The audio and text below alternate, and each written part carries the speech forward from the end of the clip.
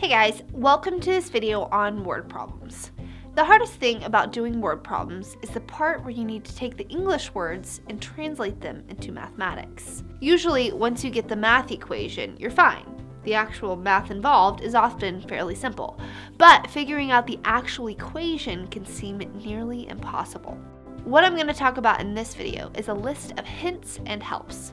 Be advised, however, to really learn how to do word problems, you will need to practice, practice, practice. The first step to effectively translating and solving word problems is to read the problem entirely. Don't try solving anything when you've only read half a sentence.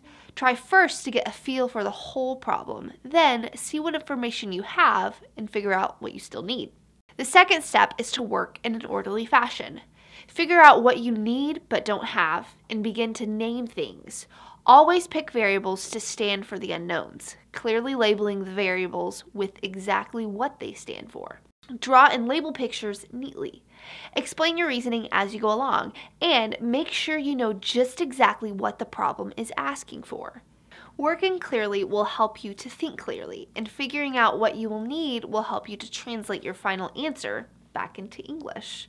It can be really frustrating and kind of embarrassing to spend 15 minutes solving a word problem on a test, only to realize that at the end you no longer have any idea what X stands for, so you have to do the whole problem over again. The third step is to look for keywords. Certain words indicate certain mathematical operations. Here's a list of words to be aware of when dealing with addition. Increase by, more than, combined, together, total of, sum, plus, added to, and comparatives like greater than.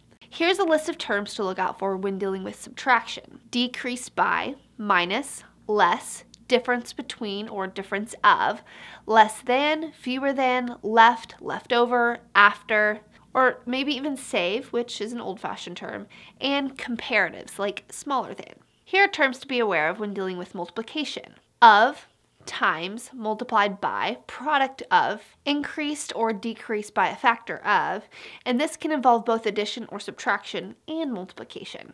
Twice, triple, etc., and the word each. For example, they got three each. Next are terms to be aware of when dealing with division. Per, a, out of, ratio of, quotient of, percent divided by 100, equal pieces, split, and average. Now, lastly, here are terms to be aware of when dealing with things that are equal is, are, was, were, will be, gives, yields, sold for, and cost. As you work through word problems, be aware of these words and use them to help you identify what type of math is taking place. I hope that this video is helpful, and for further help, be sure to subscribe to our channel by clicking below. See you guys next time.